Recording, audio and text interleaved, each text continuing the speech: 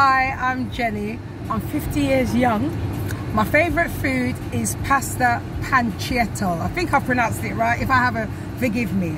Now, what I like about it is the flavour is so flavoursome, especially with the bacon pancetto. Pancetto anyway. The way how it's mixed up and it's seasoned well and the way it goes down your throat. Oh my God, it's lovely. And the reason why I should be in your contact because I am a foodie. I love my pasta. I love cooking it at home.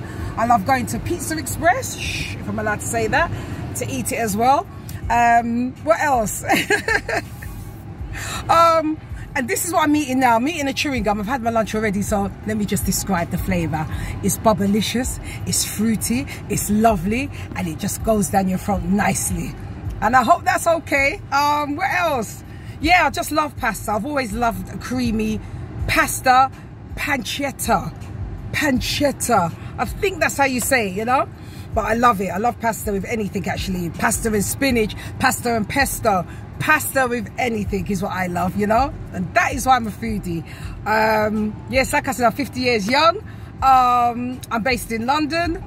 What else? What else? What else? Like I said, I'm just chewing the chewing gum now. Am I allowed to advertise? Look. But right now, I've been chewing it for about 15 minutes. The juice is just flourishing my taste buds, just in light, you know, ignite, should I say. And it's lovely, yeah? So that's me. I hope that will be enough. Take care. Hope to see you soon. Jenny.